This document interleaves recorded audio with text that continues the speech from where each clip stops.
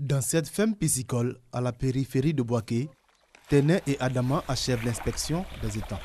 Une tâche qu'ils accomplissent tous les jours avec une attention particulière. L'élevage de poissons est pour cette famille une activité rentable. Chaque deux semaines, ce sont plus de 200 poissons qui quittent ces étangs pour les différents marchés de poissons de la ville.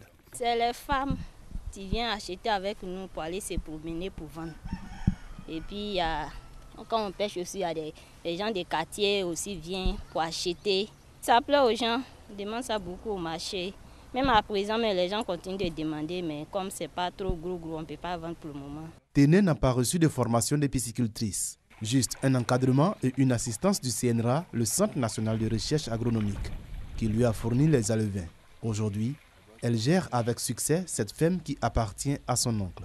On a jeté les alevins à Sanera on les a mis dans l'eau. On a commencé à les donner à manger un peu, un peu, un peu jusqu'à ils ont grossi. À moins de 5 km de là, la station de recherche sur la pêche et l'aquaculture du CNRA. C'est d'ici que sont partis les alevins qui ont permis d'approvisionner les étangs de Ténin. La station de Boaké est l'un des principaux fournisseurs d'alevins aux pisciculteurs du pays. Dr Cyril Nguyen est le chef du programme pêche et aquaculture continentale.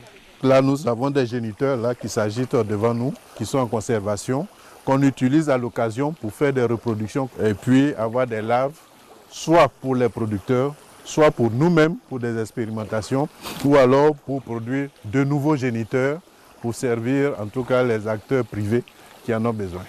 Plus de 74 000 tonnes de poissons sont pêchées en Côte d'Ivoire sur les 360 000 tonnes consommées chaque année. 80% d'importation et un peu plus de 5% issus de l'aquaculture.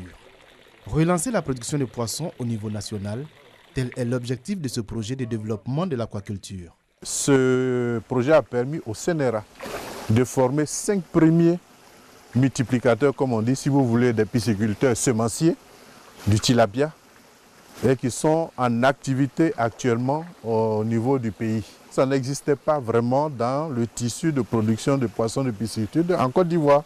Depuis le démarrage de ce projet en 2014, la station aquacole de Boaké a produit plus de 1 900 000 alevins de tilapia qu'elle a mis à disposition des pisciculteurs. En avant-garde de la recherche aquacole en Côte d'Ivoire, la station de Boaké sert actuellement de champ d'expérimentation pour l'introduction du tilapia de souche brésilienne.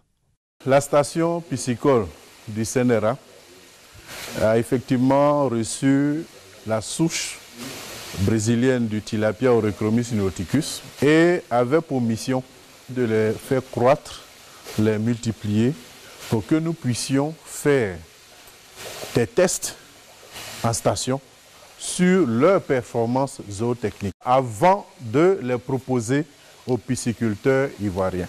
Un projet que les chercheurs ont mené à son terme. Ils attendent désormais l'autorisation des organes de tutelle pour mettre cette souche de tilapia à disposition du grand public par rapport aux performances que nous avons constatées qui sont euh, appréciables. Euh, nul doute que euh, l'État décidera de les mettre à la disposition des producteurs qui attendent, il faut le dire, qui attendent depuis un certain temps que cette souche soit à leur disposition pour améliorer leur production sur leur ferme. Pour retrouver le tilapia de souche brésilienne dans nos assiettes, il faudra donc patienter encore quelques mois. Lancé en 2014, le projet de développement durable de la pêche et de l'aquaculture en Côte d'Ivoire vise à contribuer à la sécurité alimentaire et à lutter contre la pauvreté en milieu rural. L'aquaculture ivoirienne devrait ainsi passer à une production de 200 000 tonnes de poissons en 2020 contre 1290 tonnes en 2007.